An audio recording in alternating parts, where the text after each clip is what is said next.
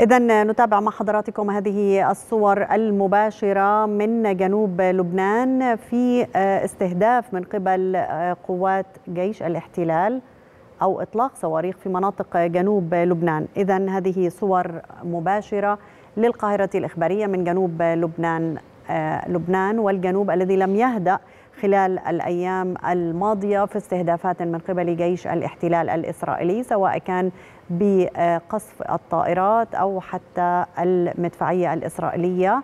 وكان هناك تبادل أيضا من قبل حزب الله الذي أطلق الصواريخ باتجاه بعض المدن والبلدات في شمال إسرائيل واستهدف اليوم لأول مرة مناطق في الجولان المحتل. إذا نشاهد هذه الصور المباشرة التي تأتينا من لبنان.